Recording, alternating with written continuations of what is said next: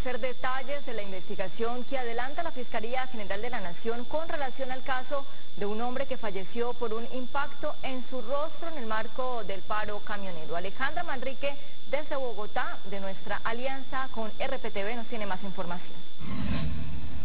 Los saludos desde el búnker de la Fiscalía y luego el lamentable hecho ocurrido en Duitama, Boyacá, el pasado 12 de julio, en donde falleció un manifestante en el marco del paro camionero y según Medicina Legal, producto de un impacto de granada lacrimógena, el fiscal general encargado Jorge Fernando Perdomo se pronunció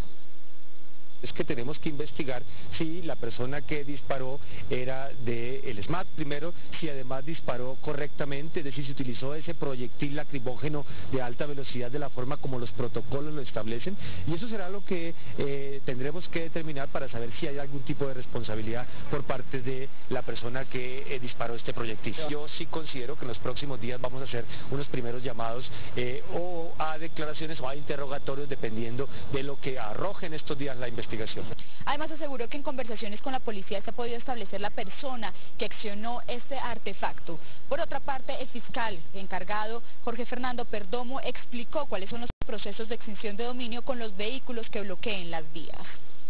se inmoviliza la tractomula, se tiene un informe de policía judicial y con eso un fiscal puede determinar la medida cautelar de embargo y secuestro para comiso o para extinción. Hasta el momento se han judicializado 60 personas en el marco del paro camionero en todo el país. Esa es la información desde el búnker de la Fiscalía María Alejandra Manrique. Gracias María Alejandra.